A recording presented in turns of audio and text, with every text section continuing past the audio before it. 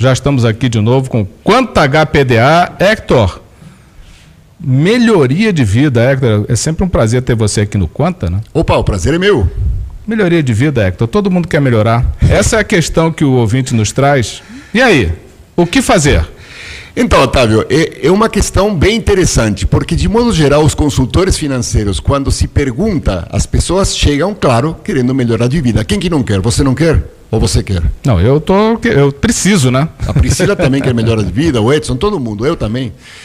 Mas quando a gente procura com esse desejo um consultor financeiro, normalmente o que é analisado, Otávio, é apenas o plano material tá, da pessoa. E isso é insuficiente para conseguir uma consistente melhoria de vida na pessoa. Não, é, é suficiente? Insuficiente. Insuficiente. Totalmente insuficiente, totalmente superficial. Porque nós, pelo menos. Sim, pode falar. Não, você apontou o problema. Pergunta agora, e a solução? Então, Otávio, é que a gente precisa analisar outros planos da vida da pessoa, não, so, não somente o plano material. Nós temos o plano material, pelo menos o plano espiritual, pelo menos o plano psíquico e pelo menos o plano físico. E como eles se referem à mesma pessoa, claro, que é você, eu, a Priscila, o ouvinte, naturalmente que se você mexe em apenas um, você não consegue uma mudança é, completa na vida da pessoa. É como você mudar durante dois ou três dias o teu cardápio e querer emagrecer. Não vai dar certo. Ô Hector, o que nós estamos escutando falar do governo é, é aumentos sucessivos dos gastos públicos. E isso traz sempre aquele receio de, ah, não temos como haver recuperação do emprego tão, tão cedo. Ah, a, a, a iniciativa privada não está tendo como se virar. Sim. Outra, ah, os preços no supermercado vão continuar subindo lentamente. E outra, existe sempre o risco de aumento de impostos. Só coisa ruim, né? Não, como é que a gente fica nessa, nessa, nessa, nesse caldeirão aí?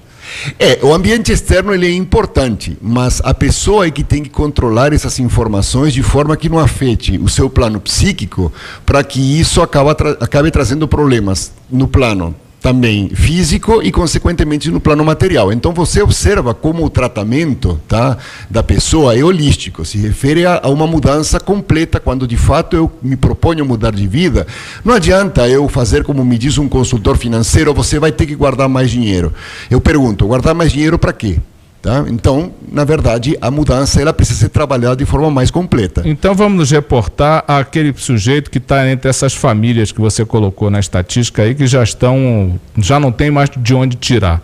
É, e fica tá agora devendo para banco, para agiota, para parente, para sogro, para enfim, tá naquela situação que. Para parente não é dívida, Otávio. Muito, é. Não, não fala isso para os parentes, não, porque senão já encerra os empréstimos.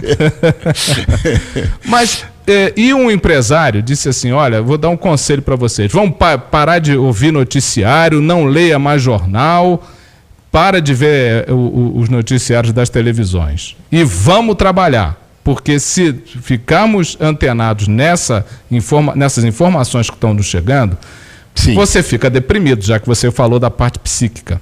É, também é uma forma, mas eu não recomendo muito esse tipo de procedimento, porque de uma forma ou de outra você vai acabar sendo permeado pela informação de alguma maneira. Se você evita olhar o jornal, algum colega teu, um amigo, ou até parente vai te falar: olha, a situação está ruim, você não vai ter como evitar que essa informação negativa chegue a você.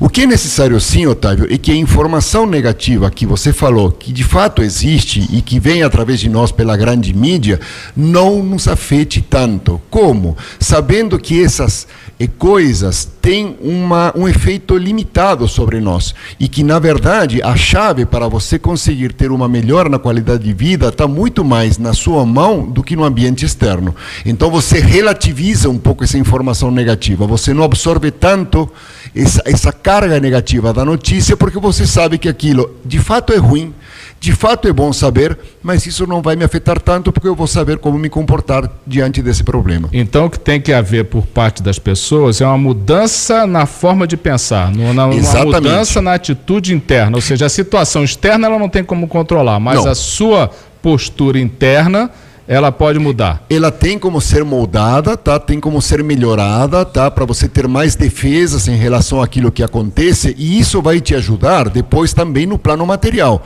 porque você vai começar a encontrar motivos para você de fato ter melhoras no plano material, mas saber que uma melhora só no plano material não gera grandes impactos sobre as pessoas. Uma pessoa efetivamente muda de vida quando ela muda como um todo, tá? Quando muda não somente o plano material, como os demais planos que a gente mencionamos, inclusive o plano espiritual também. Isso vai dar sustentação para que as eventuais mudanças que vão ocorrer como consequência no plano material, de fato tenham um efeito significativo na sua vida. Então, como dizem as, as novas linhas de pensamento quântico, se você mudar a sua atitude por uma atitude, um pensamento positivo, os reflexos na sua vida vão ser outros, ou seja, as coisas tendem a melhorar a partir de que na sua mente você pense diferente. Otávio, sim, mas um pouco de cuidado com o pensamento positivo. Ele não pode ser irresponsável. Claro é, que sim. pensar positivo é bom, mas ficar acreditando em Papai Noel não é uma boa ideia. Portanto, você tem que estudar no plano da psique aquilo que de fato é mais ou menos possível. Tudo bem, tem algumas frases de efeito do tipo eu posso chegar onde eu quiser, tudo bem, mas cuidado, para você chegar onde você quiser, você tem que sacrificar muita coisa. É importante que a pessoa tenha essa consciência também. Não basta apenas querer querer, ou melhor, querer não é apenas desejar, querer é estar disposto a se sacrificar para chegar em determinado local. Ou seja, tem que ter o pensamento, mas uma atitude consciente, proativa também. consciente. Beleza, então tá aí. Ô Hector, valeu, brigadaço por mais essa e até breve. Um grande abraço, Otávio, um grande abraço a todos. Esse foi o Hector Gustavo Arango no Quanta HPDA, cujo contato é quantahpda.gmail.com ou então 35 988 04 3970.